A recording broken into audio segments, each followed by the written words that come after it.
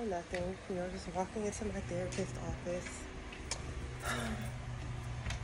my favorite part of the week. Yeah.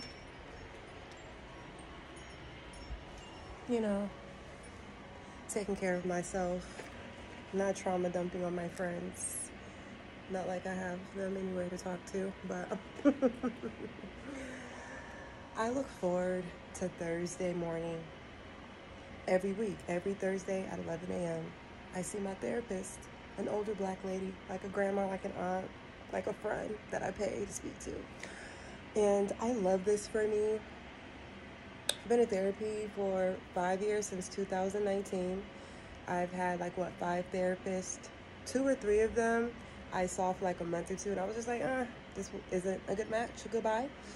Um, the other three were lovely, and yeah, I love therapy. Sometimes I think like when like will I ever do without therapy? I don't know. I love it. Like I really feel like I also want to add like a life coach to my team of well-being. I just I really like it. And throughout the 5 years I have gone through stints without therapy like a year, year and a half or whatever. Um, but I just really like having a therapist. So I encourage you to seek out therapy, especially if you look like me, sweetie. We got trauma.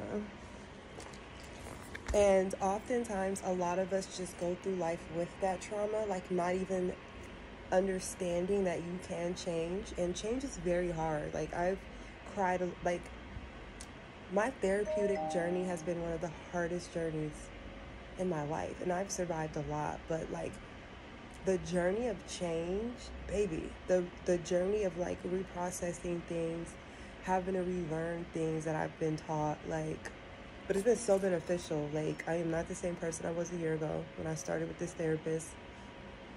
Every year I'm like better and better and better. And that is the goal. So mm. and it's something about a man who's in therapy too.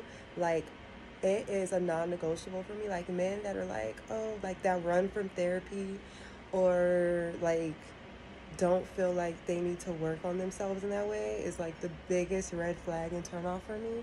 Because what do you mean? Yeah so get into it. You know? Okay bye